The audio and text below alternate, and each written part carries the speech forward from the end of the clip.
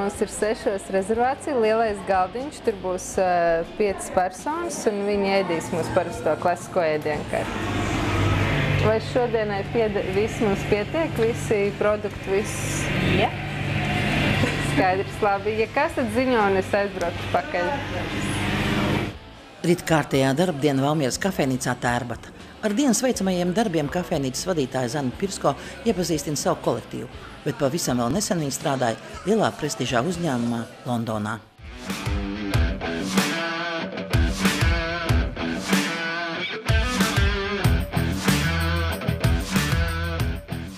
Kad es izlēmu atstāt uz laiku Latviju, es aizbraucu uz, uz Ibizu. Nodzīvoju tur vairāk, principā nē, nu es teiktu gadu. Un tad uh, man bija doma, protams, tur atgriezties, jo tur bija fantastiski un saule un jūra un uh, skaisti cilvēki un tā tālāk. Un uh, domāju atgriezties, un, uh, lai nezaudētu to darbiņu visu, devos tikai īslaicīgā ceļojumā uz Londonu, apciemot māsas un, un vēl iepazīt Londonu un tā tālāk.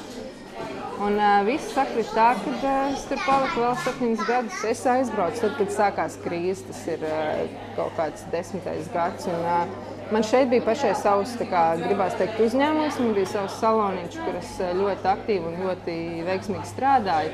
Un tad, kad sākās tā krīze, ļoti jūtama. Arī, tas arī bija tas lielais dzinums, kāpēc es aizbraucu. Es strādāju karaliskās ģimenes tādā biedru klubā, kas ir milzīga ēka, kur ir pieci bāri, restorāni, sporta zāli. Viss būtībā, lai ārzemnieki, tie biedri, tā kluba biedri varētu būt Londonā un, un vienkārši dzīvot. Un es vadīju, sāku, protams, ar trauku mazgāšanu un, un, un, un pašām mazākajām lietiņām, un eh, beigās es kļuvu par eh, menedžera asistentu, kas ir būtībā arī kā, kā vadība. Un tur es iemācījos, lai tu būtu labs vadītājs, tev ir, eh, tev ir jāpārzina. Tev ir jāpārzina trauki, tev ir jāpārzina, eh, ko pavārs dara, tev ir jāzina, ko bārmenis, viesmīlis apkopējs un tā tālāk. Un tikai tad tu saproti, kā tā komanda jūtās, kas viņiem ir vajadzīgs, kā, kā darbiniekam, kas, uh, Nu jā, un tur es to mācījos. Man liekas, tas arī šeit ļoti labi strādā, kad man nav mērķis atnākt tikai un, uh, un nodot atskaites un novadīt, kas ir jābūt šodien, kas ir jāizdara un kam ir jābūt izdarītam. Bet uh, es arī pats stāvu aiz, aiz leces un ir neskaitāms reizes bijis, kad ir, ir jāgatavo kaut kas priekšu brančiem, kad ir jāmazgā trauki un, un jātīra otrais stāvs pēc balītēm. Un, Un, jā, tā pieredze tādā ziņā ir ļoti, ļoti vērtīga.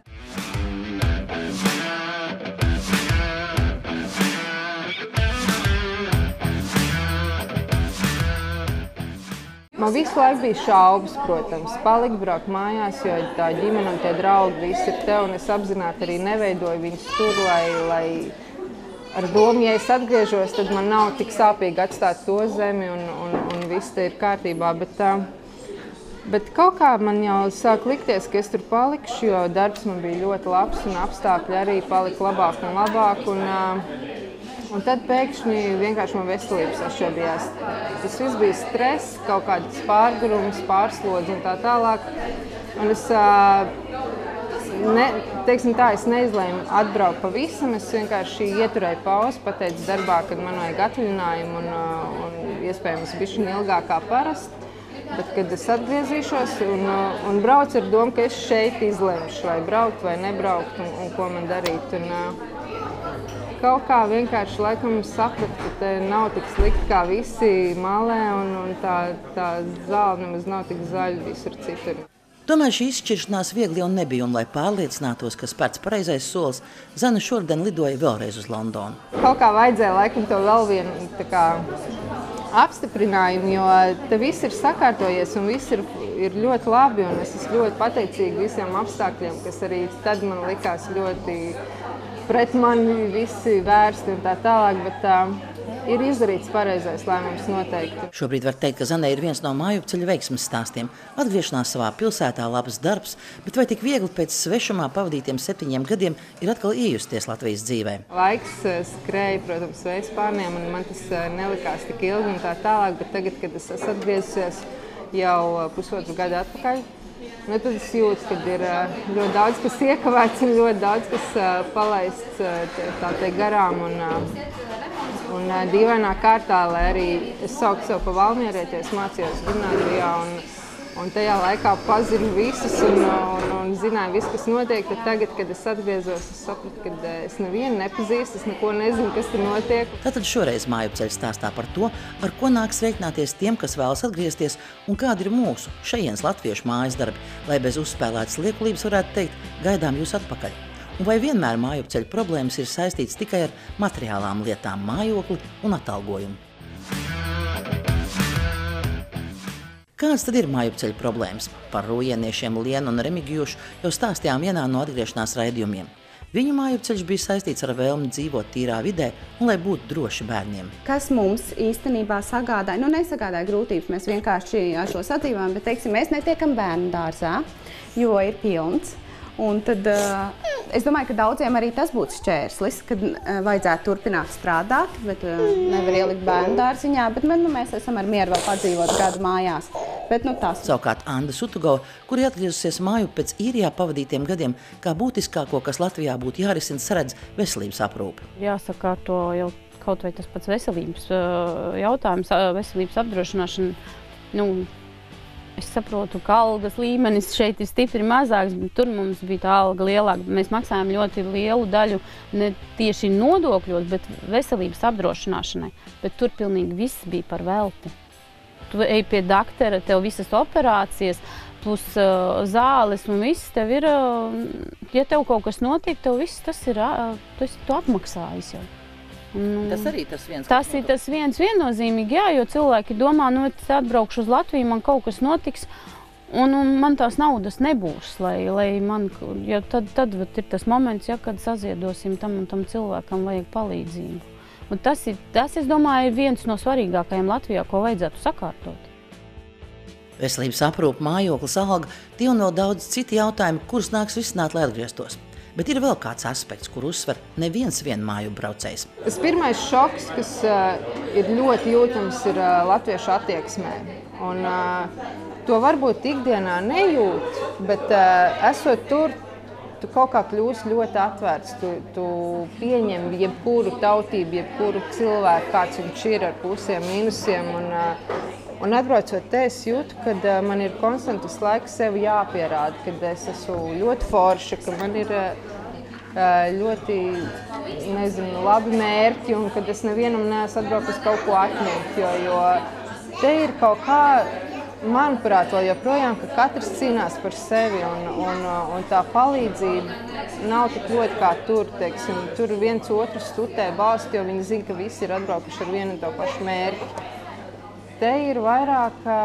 Nu, tā, tā man bija lielākā laikam, problēma, jo es nevienu nezināju, man nebija tie kontakti, es sāku strādāt, un es jūtu, ka neviens ar mani īsti negrib draudzēties. Visi skatās ar aizdomām, kas ir un kas nav, un kāpēc es esmu atpakaļ un tā tālāk.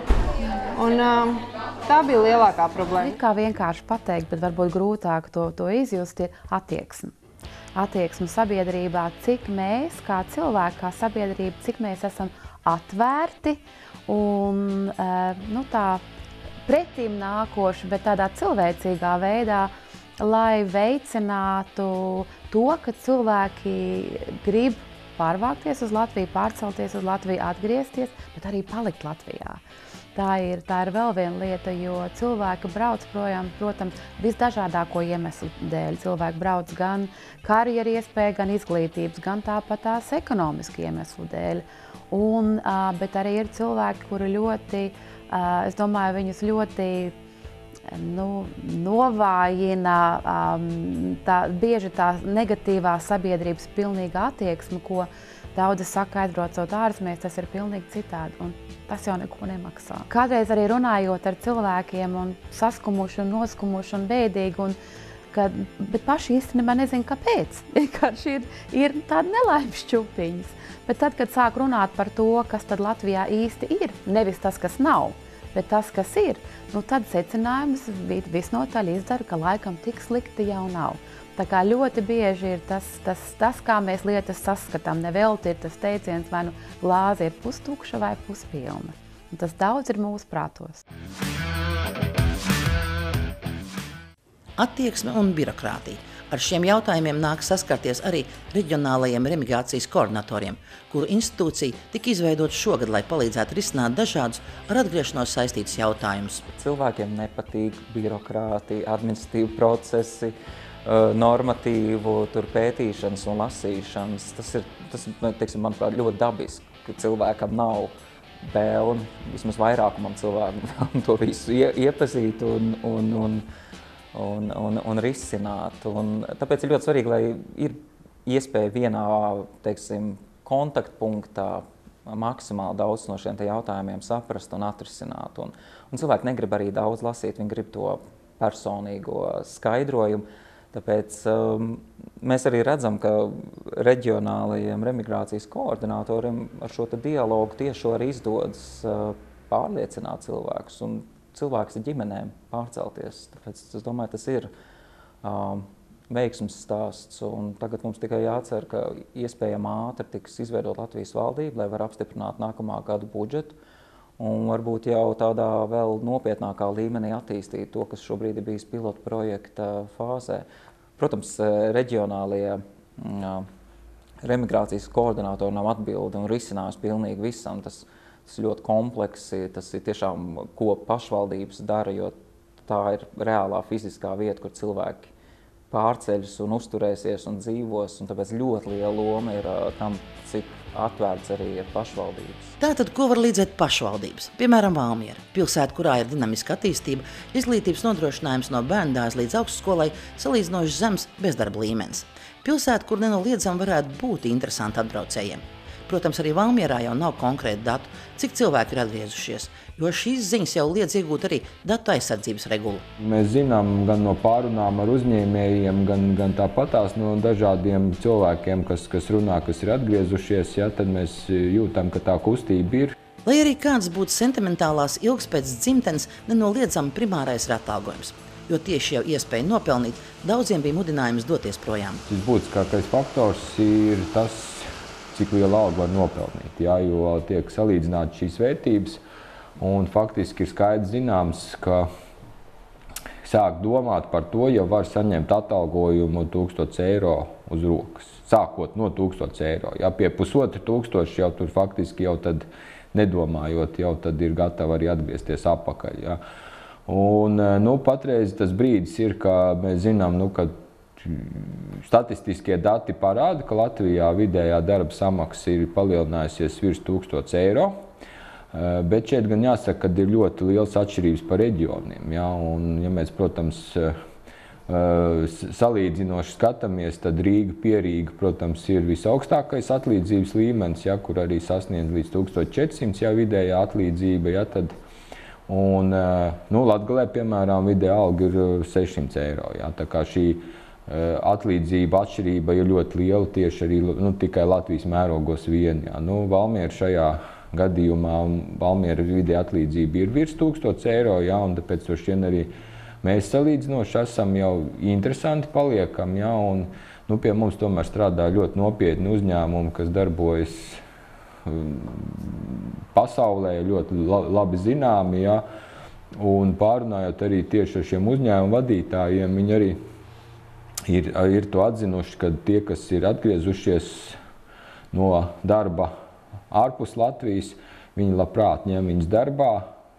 uz, arī uz, uz, uz labām vietām, jā, jo viņi arī kā interesanti saka, ka esot pavisam cita attieksme pret darbu. Jā, tāpēc viņi gatavi gan arī labāk samaksāt, jā, un arī padomāt par daudzām citām lietām, lai arī tieši ar šiem darbiniekiem piestrādātu. Tātad atalgojuma un darba vietas ziņā Valmiera būtu pievilcīga. Bet aktualitāte ir mājokļu jautājums, un arī jaunus celtajos īres namos vairs brīvu dzīvokļu nav. 150 dzīvokļus esam šogad uzbūvējuši, ja, bet visi dzīvokļi ir pilni, ja, un mums atkal ir nu, jā, jādomā tālāk. Ja, bet eh, viennozīmīgi arī par šo dzīvesvietu runājot, tad eh, nu, tāds līmenis, kā tika, tika piedāvāts šajos tīri dzīvokļos, ko, ko esam šogad uzbūvējuši, tas ir tas, kas arī apmierina tos, kas atgriežas. Ja, jo nu, viņi pieraduši tomēr dzīvot jau tā kā eiropeiskākos apstākļos, ja, un, un, un tas, tas līmenis, kur ir, ir, ir, ir atbilstoši tam, ko viņi arī sagaida šeit. Lai tālāk kaut ko tādu realizētu, ja, mums ir, protams, nepieciešams finansējums, pašvaldības subsidēt nedrīkst, to mums likums aizliedz. Tas nozīmē, ka ir nepieciešams finansējums. Mēs ilgi par to esam runājuši. Nu, patreiz it kā valdībā ir sadzirdēta šī te, un ir iespējams, ka varētu būt uz labiem noteikumiem aizņēmums valsts kasē, lai šādus projektus realizētu. Ja, bet, nu, šis, šī ir jauna politikas iniciatīva, kas tiks stiprināta kopā ar nākamā gada budžetu, kad tas būs un, un vai viņi apstiprinās. Nu, patreizajā brīdī ļoti grūti man to prognozēt, ja, jo nu, nu, saprotam, ka, ka pagaidām, kamēr valdība nav izveidota, tikmēr arī budžets uz, uz priekšu neiet. Ja. Bet Valmierā jau vēl nav atmest doma par jaunu īsnamu celtniecību. Viena no problēmām, ar kur nāk saskarties ģimenēm ar bērniem, ir arī, diemžēl, valoda un spēja iejusties jaunajā mācību procesā. Jautājums bērniem, kuriem latviešu valoda ir teiksim, diezgan, diezgan zemā līmenī un viņi ir jau kā svešvaloda, kā ir tieši ar bērniem, kā, kā viņi var šajās bērndārs grupiņās un, un īpaši skolā. Jo bērndārzā bērni īstenībā ļoti, ļoti ātri to, to kopējo valodu atrod, bet mācību process ir, ir sarežģītāks. Un, un tur, tas ir arī, kas dažus vecākus arī novaida, jo viņi negrib pakļaut savus bērnus šim papildus stresam. Tāpēc noteikti tas, kā pašvaldības risino to, ka viņā, viņām ir nepieciešami cilvēki atpakaļ. Viņiem pat ir piedāvājums šiem cilvēkiem, ka ir šis te, teiksim, sakārtots skolu bērndārs jautājums pamatā, lai, lai bērnam tas nav sāpīgs process, šī atgriešanās. Šeit arī mums ir ko, daudz ko iespringt, jo uh, ir tā, ka ir, ir, ir, ir jāsaprot, ka ši, nu, šie bērni, kas ir varbūt ilgāku laiku mācījušies kādā citā ārzemes skolā, tad atgriežoties šeit Latvijā, nu, šis apmācību līmenis šeit ir savādāks, jā, un arī jāsaprot nedaudz tas, ka uh, nu, mm, dzīves apstākļi un, un, un varbūt arī tas, kā, kā šie bērni tiek pieņemti tur ār, ārzemēs, jā, ir nedaudz savādāk kā šeit. Jā, bieži šeit sanāk sadurties arī liet, ar, ar lietām, kad ir gan uh, nedaudz problēmas ar valodu, jā, kas ir aizmirsusies un kas ikdienā varbūt ne tik bieži, ne tik daudz lietojot uh, šī latviešu valoda ir jāstiprina šeit uz vietas esot. Ir arī gadījumi ar tādu individuālo noslēgšanos, kur ir daudz sociāliem pedagogiem jāpiestrādā, lai šo bērnu arī atvērtu, jā, un, nu, lai viņš tomēr iekļautos kolektīvā. Un, un, un, nu, tomēr mūsu bērni ir daudz sabiedriskāki jā, un, un gatavi kopīgi lieliem darbiem, jā, un dejot, dziedāt un, un, un dažādas citas lietas darīt. Tad, Nu, mums tie novērojumi arī, ka nu, ārzemēs ne visur tā ir. Un, un ļoti daudz visur viss notiek individuāli, tikai aiziet uz skolu, pēc tam visi tur pa mājām izklīst. Jā, nav tāda sabiedriska tāda dažādiem pakalpojumiem, ko šeit var saņemt. Mēs esam arī šo atbalstu personālu esam visās skolās saglabājuši. Jā, un, uh, Un notiek šī sadarbība gan šeit no izglītības pārvaldes puses, gan ar skolu, gan ar so sociālo dienestu. Kādreiz arī viņi ir jāpieslēdz, ja tā kā šī sadarbība notiek. Vēl viena problēma, kuru varētu nosaukt, ir informācija, pareizāk sakot, tās trūkums. Lielākais aizbraukšanas vilnis bija pirms gadiem 9-10. Laiks ir gājis, bet daudz aizbraucēji vēl ar vienu dzīvo tajos pašos priekšstatos par Latviju, kāda tā bija toreiz. Nesot šeit, tā doma joprojām ir, ka te viss cīnās, te visiem ir grūti, te valdība neko nedara cilvēku labā un tā tālāk. Un, un, jā, un tas vienkārši, kamēr nav tā informācija nonākusi līdz tiem cilvēkiem, tur viņi tā arī domā. Un man joprojām ir, teiksim, latviešu meitenes, kas tur dzīvo un, un cīnās, burtiskā nozīmē. Vēl joprojām viņiem liekas, ka tur ir labākā te. Bet uh, tas sen jau ir mainījies, un, un lai cik tev labi tur neiet, tas vienalga ir tas pats aburtais lokus, ka tu strādā ļoti cītīgi, tu pelni ļoti labi, bet uh, tās izmaksas, kas tur ir, viņas ir salīdzinot identiski tas pats, kas te tu vari pelnīt. Vienalga, cik tu pelni, tu vienalga, protams, nevar tur ceļot katru nedēļu un, un brīvi dzīvot, bet uh, tur ir tieši tas pats. Noteikti būtu labi, ka būtu vairāk. Um, Tāpat laikā arī ir um, atkarīgs no tā, cik katrs pats vēlas informēties. Un informācija ir sociālos tīklos, un informācija ir tāpat laikrakstos. Bet nenoliedzami, ka vēl vairāk paplašināt informāciju un droši vien tāda strateģiska būtu ļoti teicama. Respektīvi, sadarbība lielāka starp Latviju un starp visiem tiem, kas dzīvo ārzemēs, un arī otrādi no ārzemes latviešu uz Latviju. Bet nereti jau negatīvo priekšstatu par Latviju veidojam mēs paši, šejienes latvieši, kaut vai runājot par internetu vidi. Mums bija viena goda konsula vizīte, ja? un uh, Latvijas goda konsuls vienā valstī, bet es nu, ne, ne, ne, nestāstīšu, ja, lai tā neizteiktos, ja, bet tieši tā, kad goda konsula Viņš šeit bija, mēs noprezentējām pilsētu, parādījām, kā mēs esam pārdzīvojuši krīzi, kā mēs eh, tagad ejam uz augšu, kā cipari uzlabojās, jā, viss pārējais, kas mums ir, izvadājām ekskursijā. Un atnāca pie manis, paspieda roku, teica, es pirmo reizi kaut ko tik daudz pozitīvu par Latviju dzirdēju. Tātad tas ir jautājums, kādu priekšstatu cilvēks gūst, esot tālu prom no Latvijas, kā šajā gadījumā ar Latvijas konsulu.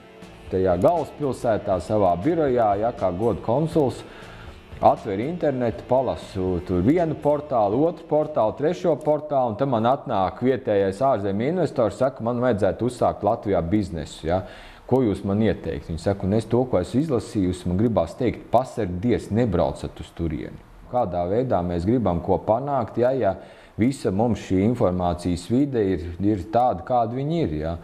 Un, eh, nu, ir ļoti daudz labas lietas notiek Latvijā. Ja, un, uh, ir ļoti daudz pozitīvie stāsti, ja, bet mēs, ja mēs to neizceļam un neparādām, ka šeit ir daudz iespējas un daudz labas lietas notiek, ja, un ja mēs spējam parādīt tikai to slikto visu laiku, ja, nu, tas ir tas smagais stāsts. Ja. Tāpēc Valmjerā uzskata, ka vairāk ir jāveido personiski kontakti arī aicinot šurp diasporas pārstāvjus, kā tas bija šovasar Pasaules Latviešu fórumā Valmierā. Saņēmu vienkārši arī tādus tā kā komplimentus pilsētē, ja, kad mēs esam daudz eiropeiskāki par Polijas pilsētām, piemēram, ja, un, Viņi pat daudz nevarēja iedomāties, ka šeit arī viss notiek. Pats interesantākais, ko arī šajā Pasaules Brīvā Latviešu apvienības fórumā, ko es, es uzskatu, bišķi pa komplimentu saņēmu, ja, ka Viņi bija, visi bija sabraukuši Rīgā, šie ārzemju latvieši. Ja, un, un viņi te vienā dienā bija. Iepriekš pirms braukšanas uz Valmieru bija tā kā čīkstējuši, kāpēc jūs mums tagad vedīsiet kaut kur prom no Rīgas, tālu uz laukiem. Ja?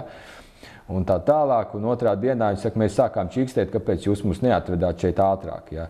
Tas nozīmē, ka nu, tikai šādi rādot sevi, parādot, ja, mēs eh, varam iegūt šo, šo nu, labo tādu stāstu, ja, ka ne tikai Rīga un ka Latvijā notiek labas lietas. Un arī nākamā gadā mums ar Eiropas Latviešu apvienību tā, taps tāds interesants arī projekts kopīgs, eh, kur mēs gribam e, taisīt tādu sporta nometni talantīgiem jauniešiem, kas patreizajā brīdī ar sportu nodarbojas kaut kur ārpus Latvijas. Zinām, ka pārstāv pat arī dažādas komandas, kas ir nu, ne, ne Latvijas, ja, bet konkrētās valsts. Ja, mēs šos talantīgos jauniešus gribam dabūt atpakaļ šeit uz Valmieru, uz, uz nometni, kopā ar talantīgākiem bērniem, kas šeit ir uz vietas, ja, un uztaisīt tādu. Nu, parādīt, kādas ir sportā arī iespējas, ja, un pie viena arī parādīt to visu, nu, kas ir Valmierā šeit pieejams, ja, un atkal šādu, caur šādu nometni arī parādīt. Nu, parādīt to, kas mums šeit ir un ka tomēr šeit ir labi ja, un, un vērst uzmanību, kad jābrauc mājās. Vai tie ir 280 vai 400 tūkstoši, vai arī vairāk, vai varbūt mazāk? Šobrīd neviens nevar pateikt, cik īsti mūsu tautieši ir aizbraukuši no Latvijas. Visvairāk Latvijas valsts piedarīgo, ap 100 tūkstoši, pēc dažādiem statistikas datiem, tiek lēsts, ka periodiski vai ilgstoši uzturs apvienotajā karalistē. Bet kā tur ir ar domām par māju ceļu? Interese un uh, remigrācijas process pavisam noteikti notiek. Māju braukšanas motivācija jau ir dažāda un katram sava. Vieni vēlas, lai bērni iet skolā Latvijā, citi saredz labākas karjeras iespējas, lai lietā varētu likt ārzemēs iegūto izglītību. Bet vienojošais jau visiem ir viens - sentiments pēc dzimtenes, un nenoliedzam arī tas, ka arī Latvijā ekonomiskā situācija ir mainījusies. Un arī Lielbritānijas Brexit gaisotne jau liek domāt par māju braukšanu. Un tā kopējā situācija ir tāda, ka šobrīd apvienotā karalistē no Baltijas valstīm un arī Polijas tas tā, migrācija ir principā tādā līmenī, ka cik iebrauc, tik arī izbrauc. Līdz ar to nav neturpinās latviešu kopienas šeit vairs pieaugums. Un, un varbūt jau pavisam drīz sāksim redzēt jau lejupējošu līkni. Thank you.